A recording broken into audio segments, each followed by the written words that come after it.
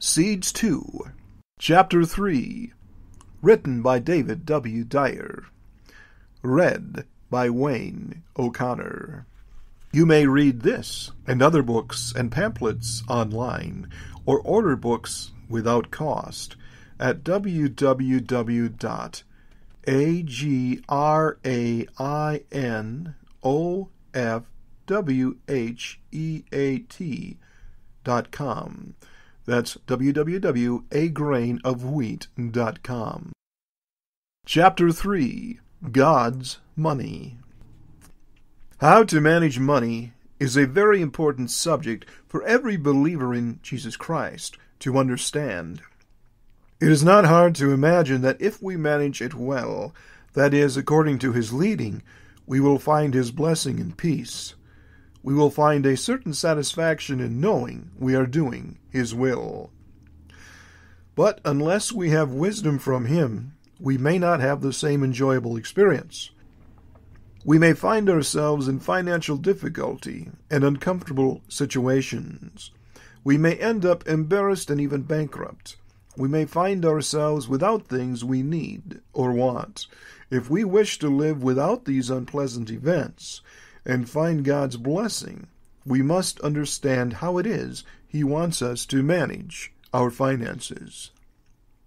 Perhaps the most basic and important fact we need to understand is that once we receive God's life through Jesus Christ, a radical change takes place in our lives although some may not realize it. A truly dramatic alteration occurs. This change is that we no longer belong to ourselves. We are no longer our own masters. The Bible teaches us that we have been bought with a price. Someone has purchased us. We have become someone else's slave. Therefore, we are no longer supposed to run our own life. Before we opened up our lives to God, we were our own. We were free to do whatever we wanted with our time and money, but afterward, we no longer belong to ourselves. We belong to God. We read in 1 Corinthians, You are no longer your own master because you have been purchased with a high price, and you were bought with a price. 1 Corinthians 6 19 and 20 and chapter 7, verse 23, Father's Life, New Testament version. The highest possible price has been paid for us. The God of the universe sacrificed the life of his own Son to redeem us. Now, it is right here that many Christians fail. It is very possible that many believers did not come to Christ with this most basic and important realization. Perhaps they came to him because of some personal need. It is possible that they glimpsed him through some message, book, or even through his creation. But far too many don't understand that coming to Jesus means giving up their own rights, their own directions, and even their own lives. However, if we are to have success in our Christian walk and know His fullness, this is a question which must be settled. Who is going to run our life? Who is going to be the master? Who is making the decisions? Is it us or is it God? Are we entering into his kingdom? In other words, are we crowning him as our king? Are we living in obedience to him? Are we really a living sacrifice laid upon his altar? Romans 12:1. Or are we still running our own lives and just crying out to Him from time to time when things don't go as we wish they would? Once we have the question decided about who is to run our lives, it becomes easier to find His blessing upon our finances. Without such a decision, it is impossible to realize financial contentment and peace. When we decide to take Jesus as our master, then we must also realize that our money is no longer ours. It now belongs to God. Therefore, we no longer have any right to decide what to do with it. It should no longer be under our control. we should not be the ones making the financial decisions for ourselves and our family. Any money we had, any money we have right now, and any money we might receive in the future is God's money, not ours. The truth is that most financial difficulties in which Christians find themselves are a result of disobedience. They are a result of acting independently and not in obedience to their master. This truth should be self evident. It is frequently the case that we have many good ideas. We have so many plans for how to live the way we want to, how to make more money, how to invest in a way that will make us rich, or even how to do some mighty work for God. But often it appears that God doesn't seem to understand these things as clearly as we do.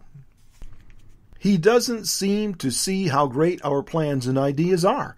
He doesn't seem to realize how successful we could be or how much money we could make if we just took certain steps with money in our hands or even with the money which we could borrow. So, since God seems so stodgy and slow to understand such things, we go ahead and act without His permission. We go ahead and follow our own ideas and plans you can imagine how well such things turn out.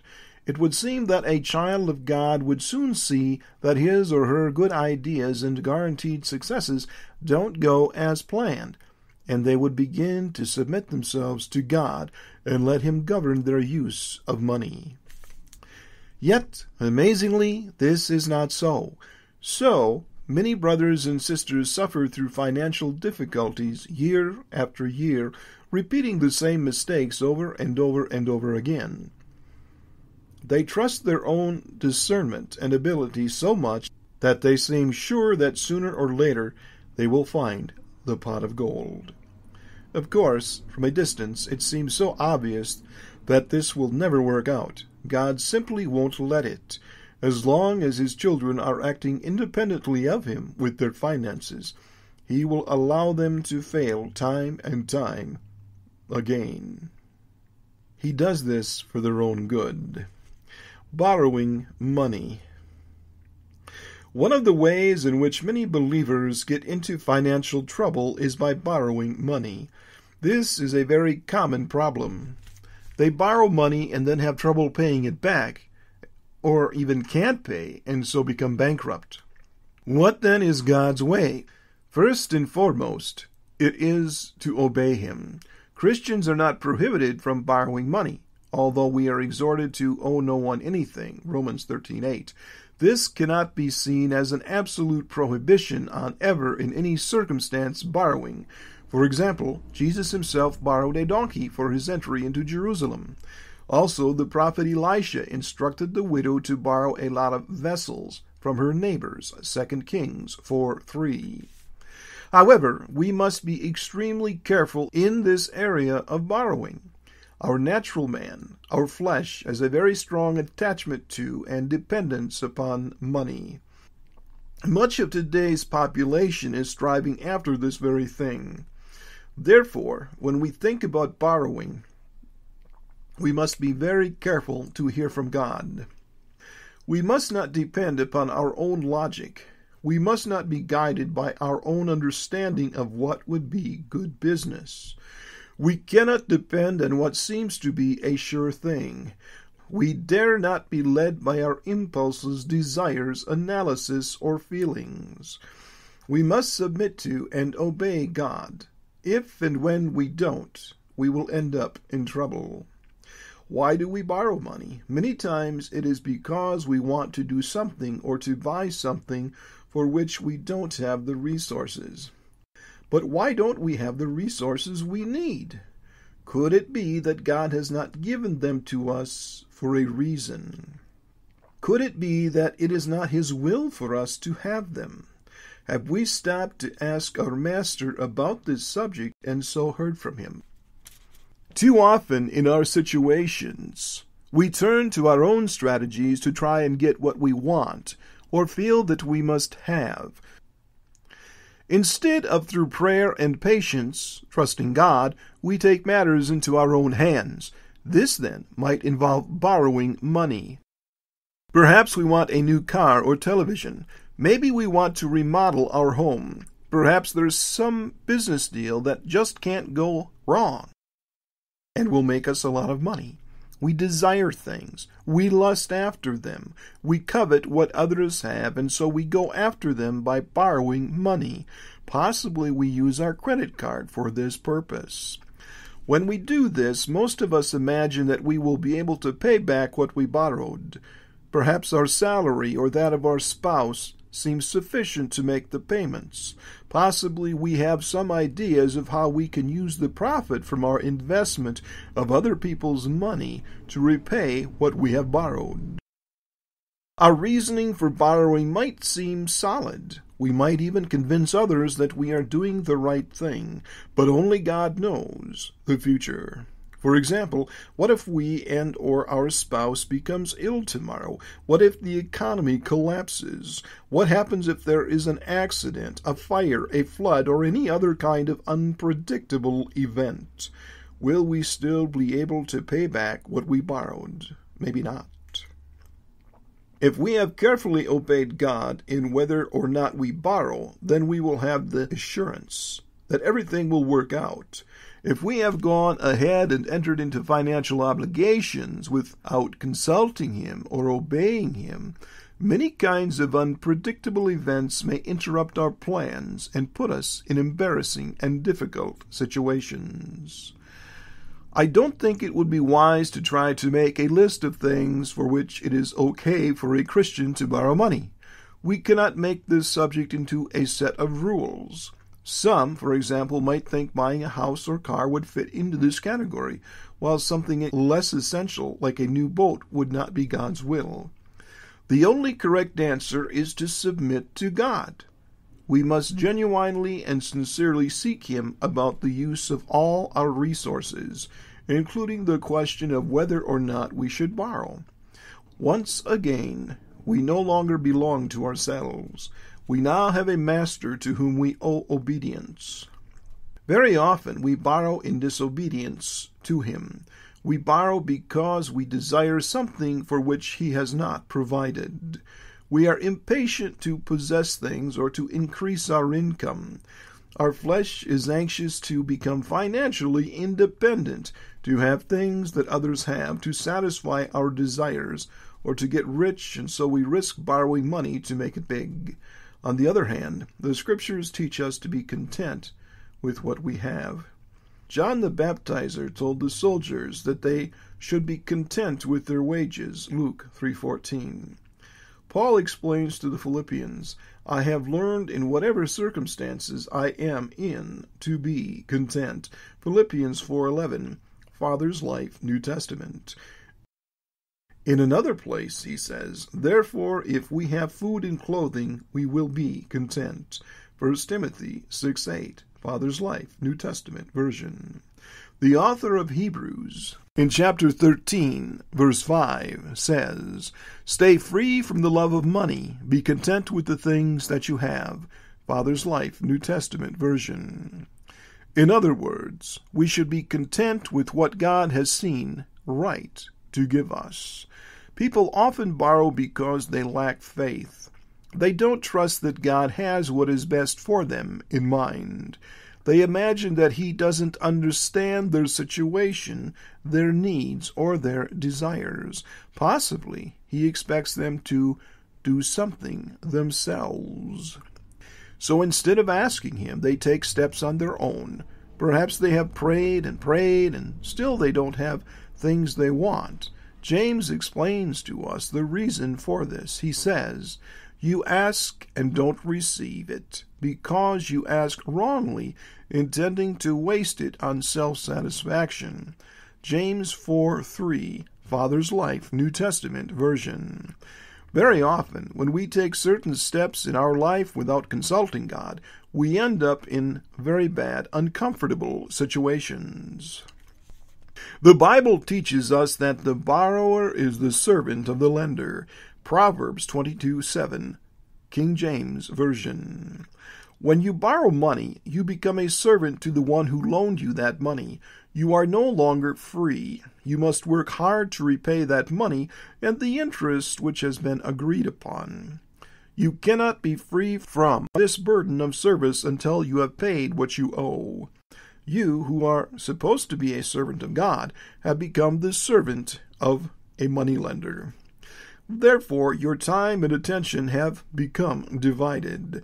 Instead of being free to spend your time and money serving Jesus, you have other obligations. Now you have to serve the person or institution to whom you owe money. How many of God's precious children are slaving away, trying to pay for things they have bought with credit, serving the God of this world instead of Jesus? We are taught that it is a blessing to not be a borrower, but to be a lender instead. Those who are obeying God and therefore experiencing His blessing will not be those who are in debt, but those who are generous and are giving. Money is for God's kingdom.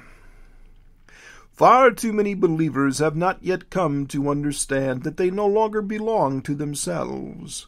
If they have truly been converted, then they belong to the Master. They are no longer supposed to be running their own lives. Consequently, their money too should no longer be under their control. If it is still under their own control, then they are living in disobedience to the Master. When believers think their money is their own, then they spend it on themselves, seeking satisfaction. When they realize that it belongs to another, then they can begin to spend it following his leading.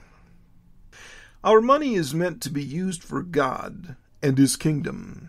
Our purposes, once we have received his new life inside of us, are no longer the same as they are for the rest of humanity. Most humans seek food, clothing, shelter, comfort, leisure, and even luxury. Yet, Jesus teaches that we should not seek after these things, but instead seek the kingdom of God. Matthew 6:33. If we are still using our money in the same way as the unconverted, we reveal that our lives are not really submitted to Jesus. How then can we use our money for God's kingdom? The following thoughts are not meant to be a complete list, but only a little example of the things for which God might wish to use our money. Right up at the top of this list is giving to those who are poor. Paul and other brothers in the early church were anxious to help the destitute. Galatians 2:10. Jesus himself instructs us to give. Luke 6 3 8. Psalm 112, verse 9, shows us how much God approves of our giving to the poor. We read, He has dispersed abroad, He has given to the poor. His righteousness endures forever. His horn will be exalted with honor. In fact, the whole of the Scriptures is replete with the idea that God's people should be generous with the money which God has seen fit to place in their hands. Now, it is obvious that we are not going to resolve the whole of the world's poverty with our limited financial means. But there are certainly some things which we can do to alleviate suffering. Paul teaches us that this applies principally to other believers although the sufferings of unbelievers are not excluded. Galatians 6:10. Therefore, we should always be attentive to our Lord to see how, when, and where he would like us to help others. We need to be guided by God in these questions. It is very easy to err on two sides of the question. On one hand, it is easy to be tight fisted and not give very much or very often. On the other hand, it is also easy to be led by human sentiments and fail to hear the guidance of the Holy Spirit.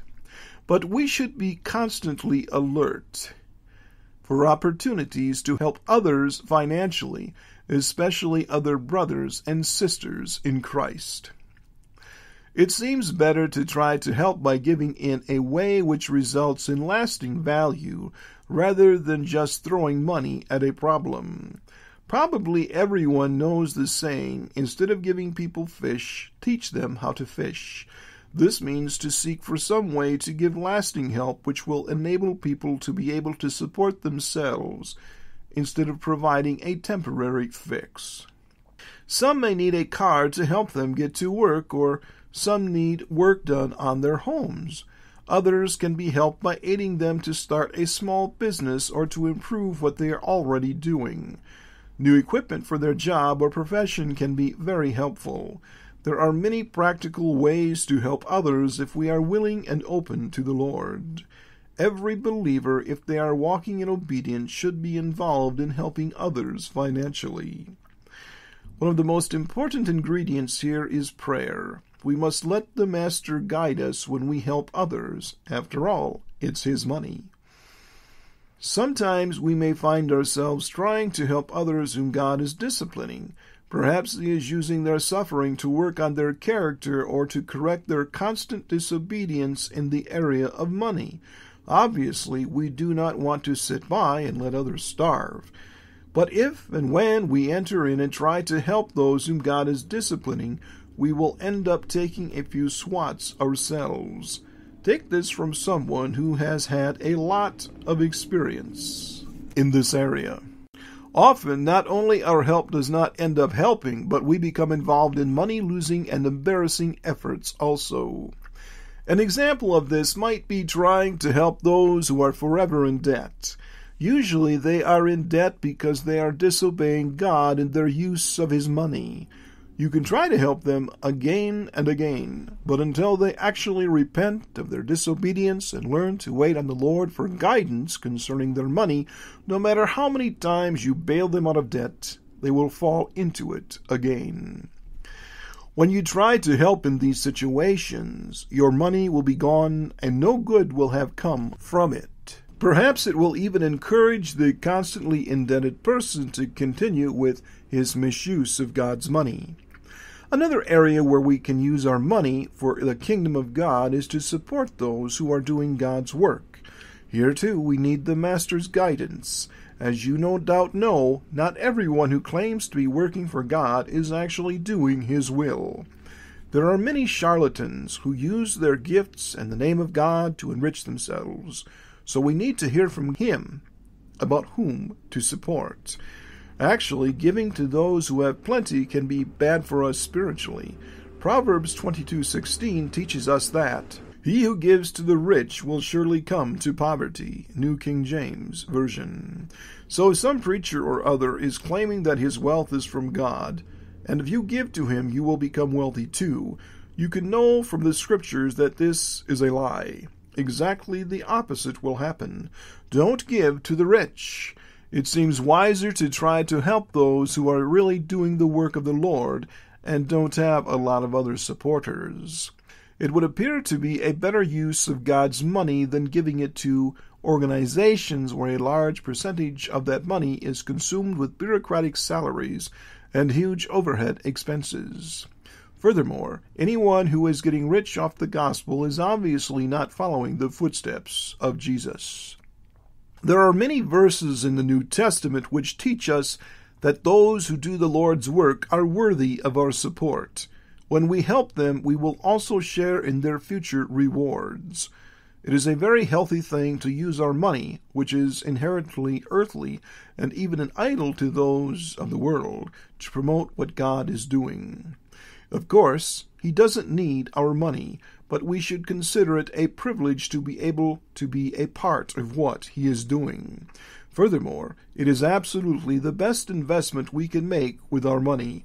It will yield returns for all eternity, and they will be the kind of returns which are so great that we can hardly imagine them.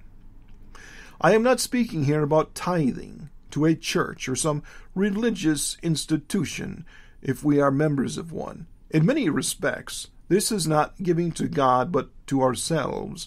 For example, if we were members of some club or other, we would have to pay monthly dues. These dues cover the expenses of the club.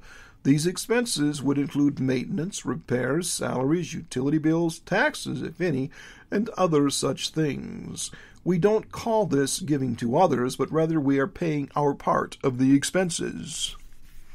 A very similar thought could be applied to our membership in some kind of religious organization.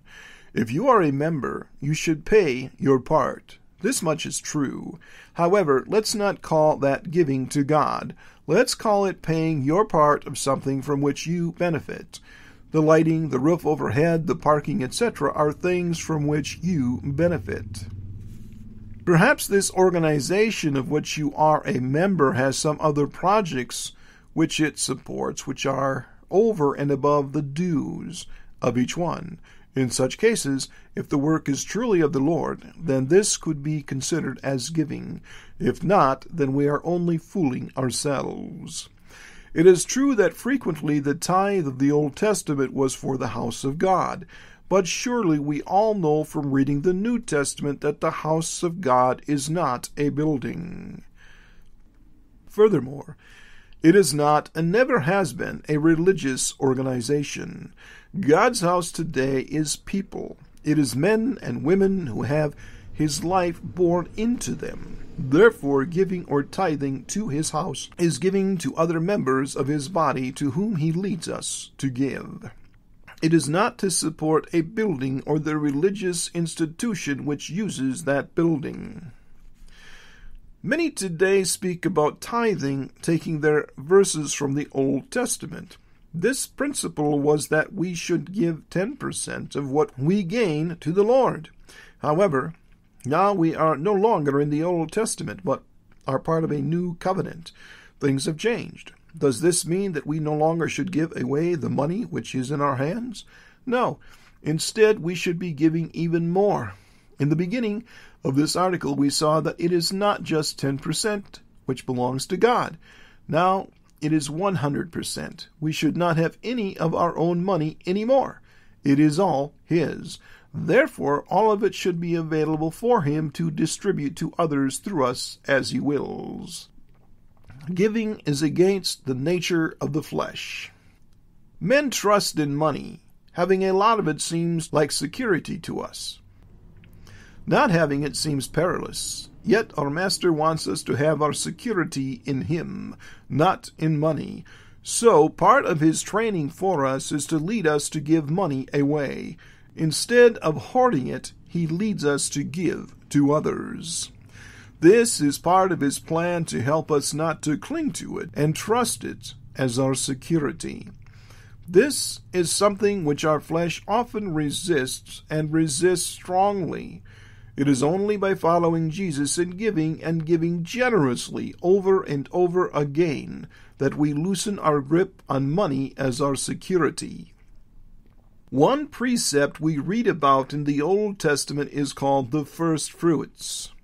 This was an offering which the Jews were to give the Lord from their harvests.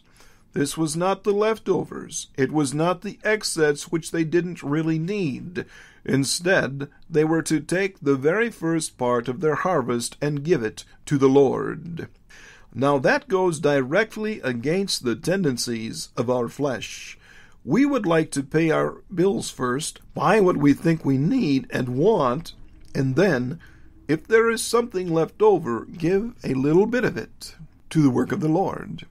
But the Lord's idea is to honor Him by giving to Him first, after all, it is He who is entrusting us with this money. Therefore, giving first to Him is a declaration of our thanks to Him and our trust in Him. When we set aside something to give away before spending any on ourselves, we honor Him. Afterwards, we should seek Him so that we can be following His leading in and where and to whom we should give what we have set aside. This setting aside something first is not a law. However, it is a very healthy practice. Not only does it go against our flesh, but it is a very special way to honor God. How much we should set aside from our first fruits is up to us and God. We are not under any law here, yet there are some important spiritual truths of which we should be aware. The measure. When we give to God by giving to others, we always use some kind of measure. Perhaps we calculate a percentage. Maybe we give what we feel we can afford. There is always something in our heart and our mind which governs our giving. This is our measure. Now, Jesus taught us something about this measure. He says, For the same measure you use when you give to others will be used when it is time to give back to you. Luke 638, Father's Life, New Testament. So, we see that when it is our turn to receive, God will use the same measure that we did when we gave. If we are generous, God will be generous with us. If we are stingy, holding back most of what we have, God will be stingy with us. If we gave what was left over after we had paid our bills and spent money on ourselves, we will receive what is left over. This is a timeless truth. It supersedes the law. This principle seems even to be in effect for unbelievers. God, who sees the hearts, will use our measure for us also. God is very generous. He has lovingly provided a complete salvation for us. He has given this to us freely without cost. Therefore, we too should be generous with others we should open our heart and our hands to them. In this way, God will also be generous with us. God loves a cheerful giver. 2 Corinthians 9 7. We should always be looking for ways to invest in God's kingdom. It is the world's best investment. The rewards never end. So, as we walk with Jesus, we should be sensitive to Him about where we can invest in His work so that we can be co laborers with Him. If we are open and willing, if our hearts are unattached to what we have, then we will find many opportunities to serve Him with the money and things He has given us. Anxious to get rich. Unfortunately, there are some in the body of Christ who are anxious to get rich. These fall into a special category. This category is those whom God will punish we read, He who hastens, that is, is in a hurry, to be rich will not go unpunished. Proverbs 28:20, New King James Version. Did you notice that this is stated as a fact? This is not something which may or may not happen. It is guaranteed. It is one of God's promises. Due to their burning desire to get wealth, many believers end up doing many risky and unwise things with their money. Often they borrow from others to try to move forward with their schemes. Since their master has not approved of what they are doing with their lives and his money, he sees to it that it becomes a punishment for them. Their failures and the consequences of them become a chastisement for them. James teaches us that those who make up their mind to be rich fall into many difficulties and a trap by following many foolish and harmful desires which drown men in losses and destruction. 1 Timothy 6 9, Father's Life, New Testament Version. Did you notice the word losses? Such people will certainly lose money, even the money they already had. Their efforts to become rich will cause them and their families much suffering. These disobedient projects will even end up destroying their lives and the lives of their families. It is not uncommon for marriages and the lives of their children to be destroyed through such rebellious use of money. Peter also speaks about such persons when speaking about independent, unholy believers. He says they have a heart which is trained in the desire for wealth, and consequently they are children who are cursed. 2 Peter 2:14 Father's Life New Testament version. It is clear that you don't want to be included in this category, that is, those who are cursed. It would probably be a good idea to read a few more passages of the Bible here and see just what it teaches us. For example, in Matthew 6 19 through 21, Jesus says, Don't store up wealth for yourselves on the earth where moth, larva, and rust consume, and where thieves break in and steal. but store up wealth for yourselves in heaven, where neither moth larva nor rust consume, and where thieves do not break in and steal. Because where your wealth is, that is where your heart will be also. Father's Life, New Testament version. Jesus is very interested in where our heart is. When it is given to Him and subjected to His will, He will bless us. When it is given to money and the things of this world, we are living in spiritual adultery, and we will suffer his discipline.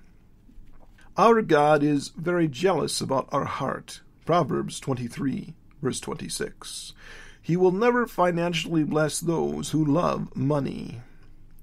He also taught us in Matthew 13:22, and the word that was sown among the thorns, this is he who hears the word, but the cares of the world and the deceitfulness of pursuing wealth choke the word, and he becomes unfruitful. Father's Life, New Testament version. And further along we read, And Jesus looked around him and said to his disciples, How difficult it is to persuade those who have wealth to enter into the kingdom of God. Mark 10:23, Father's Life, New Testament version. In Luke 6:24, Jesus warns, Woe to you who are wealthy, for you have already received what you have coming to you. Father's Life, New Testament version. Also in Luke 12:15 he says, "Watch yourself and keep yourselves from all desire for wealth. For a man's life is not made up of the abundance of the things which he possesses." Father's Life, New Testament version. In the book of Romans, Paul lists the desire for wealth along with other very repugnant sins. We read, God gave them over to have a degenerate mind, doing those things which are not right, being filled with all kinds of unrighteousness, sexual immorality, hatred, the desire for wealth, the impulse to injure others, being full of envy, murder, arguments, cheating, and moral depravity. Romans 1 28 and 29, Father's Life, New Testament version.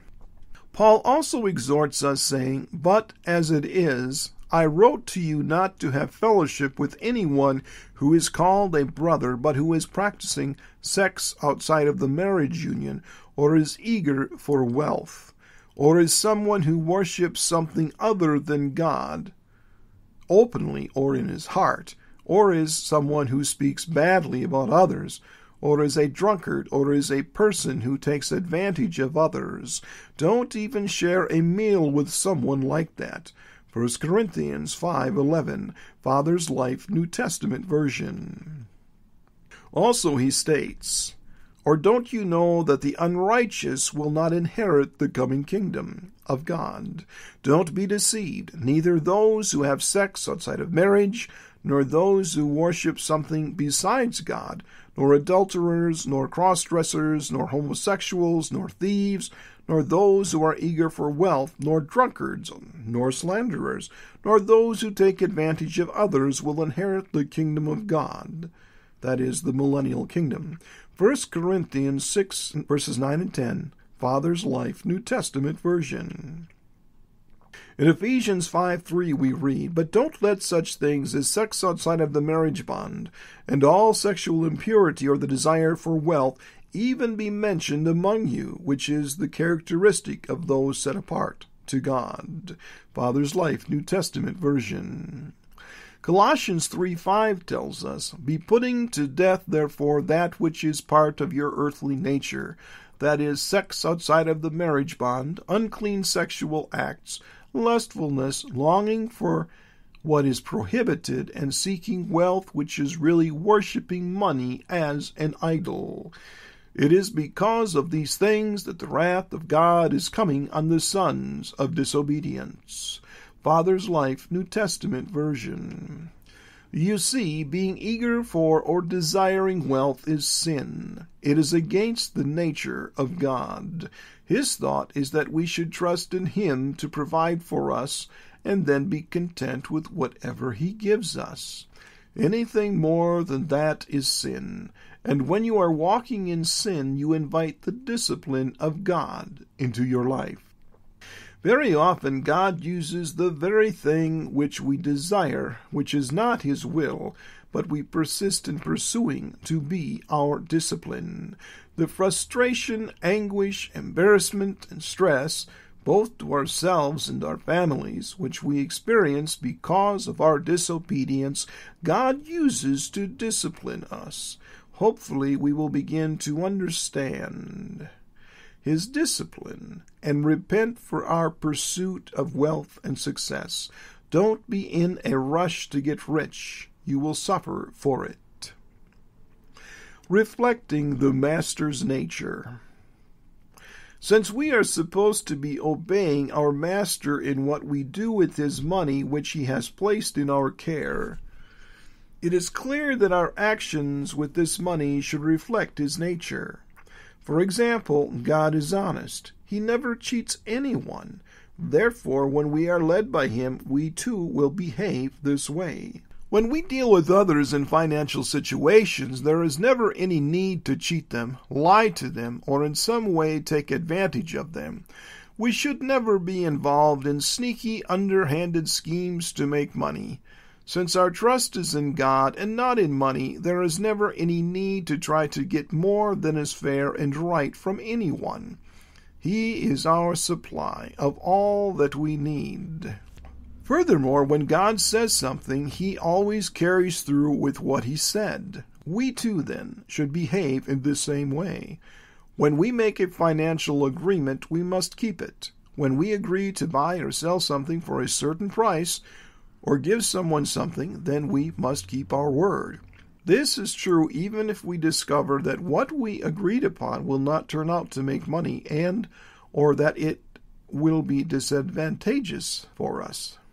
The scripture reads, Lord, who may abide in your tabernacle? Who may dwell in your holy hill? He who walks uprightly and works righteousness. He who swears to his own hurt, disadvantage, and does not change Psalms 15, 1, 2, and 4, King James Version. This is the nature of God, who is our Master. The believer who is submitted to God in his use of God's money will always pay back what he borrowed. We read, The wicked borrows and does not repay, but the righteous shows mercy and gives. Psalm 37:21, King James Version. Those who borrow and then don't pay back what they borrowed reveal that they are in rebellion against God. He considers them to be wicked. When we enter into a contract with someone, that is, we make a binding agreement with them, heaven takes notice. Our agreement is recorded there, and God considers it binding upon us. If we then break this agreement and don't fulfill our word, God will not bless us. He may even see fit to discipline us for our unfaithfulness to Him. If we have made a poor bargain but succeed in persuading the other party to loose us from this contract, then, and only then, does God consider the contract to be no longer binding. We read, Whatever binding agreements contracts you make on earth will be bound in the heavens, and whatever binding agreements, contracts, you reverse on earth will be loosed in the heavens. Matthew 16:19. This is an eternal truth. Since we are trusting in God and not in money, if we have employees, there is no justification for not paying them a good salary. We should always treat them justly as our Master would. If and when we try to be miserly and tight fisted with them, they will be unhappy. They will complain and even curse us in their hearts. Furthermore, they may cry out to our Master in their misery, and he will hear them. When he hears them, he will take action against us. This is not something we want to experience we are reminded, don't you remember the wages of the laborers who reaped your fields, the ones whom you took advantage of and underpaid? Those laborers are crying out, and the cries of the reapers have entered into the ears of the Lord of the Sabbath. James 5 4, Father's Life, New Testament Version. God is watching and is aware of all our thoughts and actions. When we are trusting only in Him, and not in money, we will not be unfair with others. Where is the blessing? There are many believers who are not blessed financially. They are always short of money. They never seem to have an abundance or even enough for what they need. They are not known to be generous with others. Some are continually in debt and therefore always chasing after money to try to pay what they owe. Why is this? The answer is that they are living in disobedience. They are not following Jesus in how they use the money that has been entrusted to them. Some of these are those who do not give when Jesus wants to give to others. They are tight fisted, greedy, afraid of not having enough for themselves, untrusting, disobedient children of God. Since they do not obey him in giving to others, he cannot bless them with more. Therefore, they are constantly short of money. Others who aren't blessed are those who don't obey Jesus when they spend money. They buy things when he is saying no, they spend money on self satisfaction, but not on his kingdom. They want what others have or crave things to satisfy ego and impress others. Their spending is not done in obedience to Jesus, therefore, they never have enough. Still others borrow money without asking him first. They buy things on credit, which is just another form of borrowing, without consulting with their master. They take financial risks by borrowing money, acting independently from God. Their use of money is completely out of the control of Jesus. Since they are disobedient, God cannot, and in fact will not, bless them. It is their own rebellion which causes them this suffering of never having all that they need we should ask ourselves Did God authorize the purchase of that new car, sofa, house, etc., which we just spent His money on? Did He lead us to put our children in that expensive school, invest in that retirement account, or buy that insurance policy? Or was it just following what the world expects us to do? Was it simply our idea of what would be right, prudent, and expected of us, or did Jesus lead us to do it? Many Christians follow the patterns and expectations of the world instead of their master in financial matters. They seem to assume that because everyone else is doing it, it must be right. Yet we cannot expect God's blessing when we follow the patterns of the world instead of receiving directions from Him. One reason our Master puts money into our hands is to see what we will do with it. It is a test for us. Since the human race depends on money and the human heart so easily, desperately clings to it, God wants to see how we react when we have money. If we faithfully follow Him in the use of money, He notices. If we follow our own fallen human tendencies and do unrighteous things, he also sees this. There are very few things which expose our hearts so much as how we use money. God will deal with us today, whether it be blessings or corrections, according to how we use His money. Furthermore, He will reward us when he comes according to how we used what he gave us. Faithfulness. Jesus says, He who is faithful with very little things will also be faithful with much. And he who is unrighteous in very little things will also be unrighteous with much. If therefore you have not been faithful with unrighteous worldly wealth, who will trust you enough to give you true riches.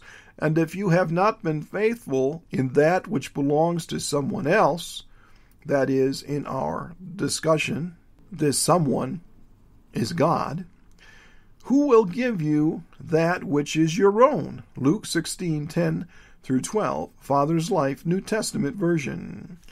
The true riches mentioned here are not money, they are the eternal, truly precious things from God Himself. Right now, our money does not belong to us, it belongs to someone else, our master. Yet, if we are faithful to him in its use, And in fact, in all of our living, He will give us true wealth of our own. This does not consist of things which we will receive, but of power, glory, and honor which will be ours. In summation, God must be the Lord of our lives and our money. We must make a conscious decision, perhaps more than once, probably even again and again, to deliver control over our financial situation to Him. If we do this, we will find contentment, satisfaction, eternal rewards, and great joy. If we fail in this area, we will find discipline, unhappiness, stress, and sorrow. Today, right now, is the time to yield your life and money to Him. Note, this chapter about using money presupposes that the reader has an intimate personal relationship with Jesus. Knowing what God wants us to do with His money cannot be completely understood simply by following the Bible or other financial precepts, even if they are biblical. Although following such precepts can perhaps be of use to those who do not enjoy a close communion with Jesus, the greatest blessing, which comes from his personal leading, can only be gained by knowing him in a real, intimate, daily way. It is not the primary purpose of this chapter to try to help the reader in this area of intimacy with God. Therefore, the author would like to recommend some other books for this purpose which are offered without cost to the reader. These are From Glory to Glory and Repentance unto Life. These books are available without cost from the website www.agrainofwheat.com. That's www.agrainofwheat.com.